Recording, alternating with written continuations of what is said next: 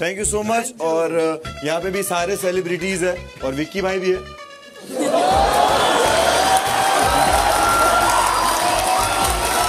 तो अभी roasting roasting तो अपन करते हैं लेकिन अभी थोड़ा एक शायरी से शुरू करते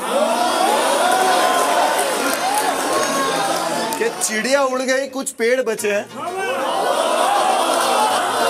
चिड़िया उड़ गई कुछ पेड़ बचे हैं।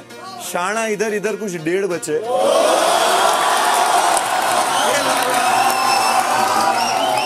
बकरी तो मैं खा गया कब का? बकरी तो मैं खा गया कब का? अब लगता है थोड़े भेड़ बचे।